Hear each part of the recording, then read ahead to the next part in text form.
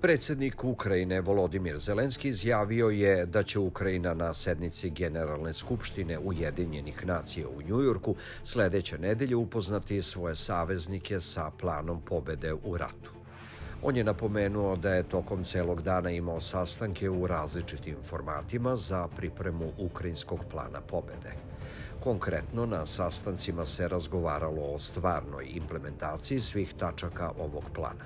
Vojni sadržaj, politički, diplomatski, ekonomski, a koraci neophodni u Ukrajini su već određeni, apsolutno jasno. Šta nam može dati najjaču moguću poziciju za postizanje pravednog mira? Rekao je Zelenski u video obraćanju, a prenosi Ukrin Forum. On je objasnio da za svaki korak postoji precizna lista, šta je tačno potrebno, šta će se tačno uraditi za jačanje pozicije Ukrajine. I zajedno ovaj paket može da obezbedi ispravan razvoj situacije ne samo za Ukrajinu, već i za sve u svetu koji cene međunarodno pravo. Plan pobede je spreman više od 90%. Ukrajina će ga sledeće nedelje predstaviti svojim saveznicima, naglasio je predsednik Ukrajine.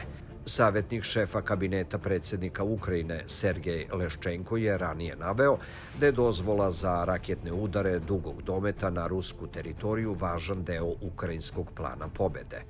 To se odnosi na udarne ruske aerodrome, vojne baze i skladišta.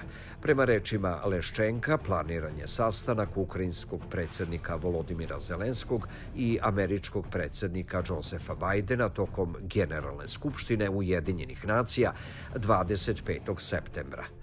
Generalna debata u Generalnoj skupštini Ujedinjenih nacija počinje 24. septembra, a tog dana je predviđeno obraćanje Bajdena, a sutradan 25. septembra govorit će ukrajinski predsednik.